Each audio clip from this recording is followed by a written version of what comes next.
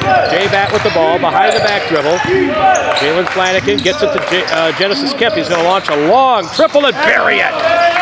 Big triple for GK. J-Bat brings it up. Flanagan with the basketball on top of the key. Finds GK. GK pulls up, shoots, and scores again. Genesis Kemp once again. Mackey. Mackey looking, someone open. And they do get it in.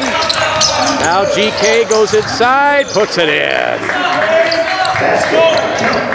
Genesis Kemp once cross half court, Lamar Grayson. Grayson, right side now to Faust.